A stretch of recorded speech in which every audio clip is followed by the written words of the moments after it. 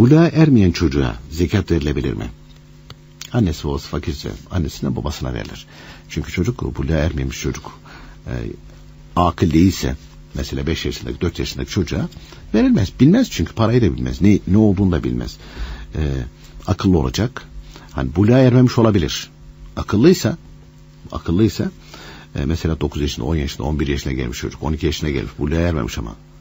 Ama akıllı bu çocuk. Buna zekat verilebilir mi? Verilebilir. Ama 7 yaşından aşağıdaki çocuk akıllı da değil. Sadece buluğa değil, akıllı da değil. E, dolayısıyla onlara da böyle diyelim ki çocuklar var perişandır. Annesi de fakirdir zaten. Annesine verilir. O da onların ihtiyacını o şekilde öyle götürür mü? Giderir mi? Giderir efendim.